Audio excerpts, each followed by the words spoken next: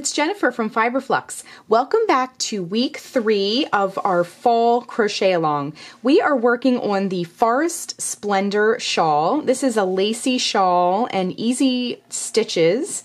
And just to recap what we've done so far, in week one, we talked a little bit about the supplies needed. So we're using a six millimeter J crochet hook. And then we're using a variety of yarn that is a four or a medium on the yarn weight scale. I've chosen Red Heart Super Saver in the real teal and Red Heart Super Saver in gray heather and Red Heart Soft in guacamole. So last week, uh, for week two, we learned how to work this stitch, this lacy stitch of our shawl. It's five rows, but our repeat is rows two through five. So when we kind of uh, broke away last week, uh, I said that we this week we would learn how to transition from one color to the next, or if you're not doing a striped shawl, if you want to just do a solid shawl, eventually you'll run out of yarn and want to rejoin a new ball of yarn. So we're going to learn how to do either one of those two things. Now I have uh, worked the teal section, and then I worked a gray section, and then the green section. And I, I think last week I had said I'm going to get up to this point and then we'll do this. However, I really wanted to work a little bit farther just to show you how these colors are working together. And if you're choosing different colors, how the how the stitches kind of transition from one to the other. They kind of like hook onto each one of those chain two spaces and it looks very pretty. It's a nice transition.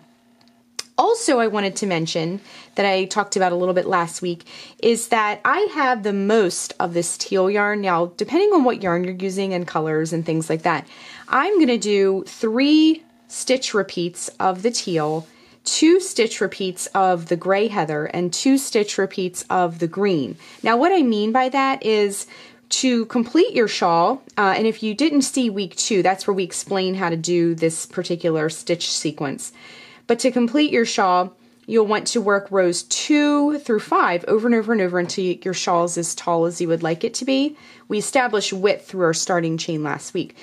But uh, when I say repeats, I'm saying I did rows two through five three times in the teal. I did it twice in the gray and I did it twice in the green.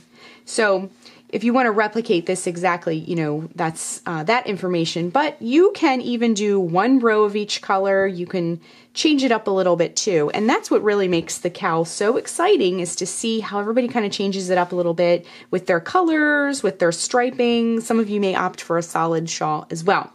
So let's jump into our tutorial for today. It's going to be short and sweet. We're just kind of finishing up the shawl. So again, I did three colors because I really wanted to show you how those colors are starting to play out. And then I'm going to continue working on my shawl as well.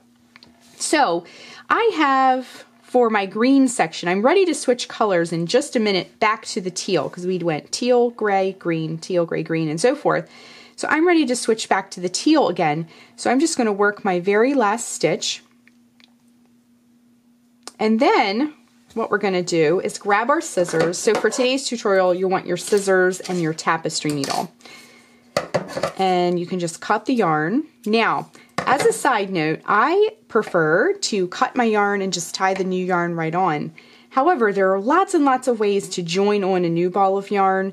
This is just the way I love to do it. Okay, so I'm just going to fasten off with the old color, grab the new color, which is this teal, and I think I mentioned this before, but I really love this particular color sequence because it looks very fall and wintry to me, so it'll kind of carry us into both seasons. Okay, so what we're going to do is that last stitch that you worked, reinsert the hook back into that last stitch, bring the new yarn through, and just tie it right on. Okay, again, if you have a way of doing this that you prefer, definitely feel free to do that. This is, at the end of the day, this is your shawl and you make up the rules for your shawl. so we have the yarn tied on. Now we're just going to reinsert the hook back into that last stitch, bring up a loop, and now we're ready to continue. So again, we're working rows two through five for the rest of the shawl, no matter what color you're doing. And I'm just, I just happen to be changing the colors after two repeats for these two colors and after three for these, just to keep it simple so I know where to switch colors. So what we're going to do, you can just do your chain three, one, two, three, and turn your work. And this is actually what I consider to be the front side of the work. The double crochets are facing forward. And then we're just going to work our rows and work our stitches. So you can just continue on with your shawl and make it go as long as you would like it to be. Now, let me just remove my hook for a moment because I want to show you one more thing before we finish up here, and that is our ends. Now grab your tapestry needle, and I wanted to just show you something.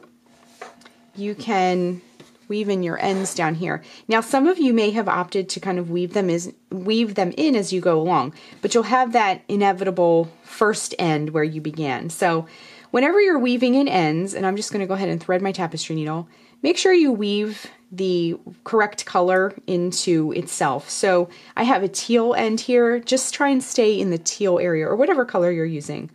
So what we're going to do is just go in. Now with the lace, lacy stitches, see how I have a lot of chains and it's very open along the top here. I'm going to opt to take my needle down a little bit and go into these heavier, more solid areas, and it'll blend in a little bit more nicely if you do that. So take the needle in one direction, come back in the other direction, and then you can grab your scissors, and if you give it a little tug before you trim, it'll kind of retract back in there and disappear, okay? So that's how you weave in the ends. And for those of you who are interested in blocking your shawl, now we used acrylic yarn for this shawl. There is a method that you can use using an iron and kind of applying uh, steam to the piece if you're using acrylic yarn, and that will help to open it up just a little bit and kind of straighten it up if you need it. Um, now, the important thing with acrylic yarn is to never, ever, ever let your iron touch your project because acrylic yarn is essentially plastic and it will melt the yarn and ruin your project and all this hard uh, stitchery that you put into it. So um, I will share that video if you're interested in blocking your shawl. If not, you can leave it as is, and oftentimes I will just leave my projects as is. If you're using natural fibers like wool or alpaca, etc., you can uh, do a heavier blocking. You can wet block it if you like. You can also steam block natural fibers, but you can actually soak the piece and pin it back, and you can really get a lot more openness if you're into that. If not, you can just leave it as is. So that is the rest of our shawl tutorial. So what we're going to do to complete our shawl is to just keep working rows 2 through 5 over and over and over, switching colors and balls of yarn as needed. And sometimes what I like to do when I have a lot of ends is to weave a few in every every couple of rows or sections I do. I maybe just weave the ends in as I go in that regard too.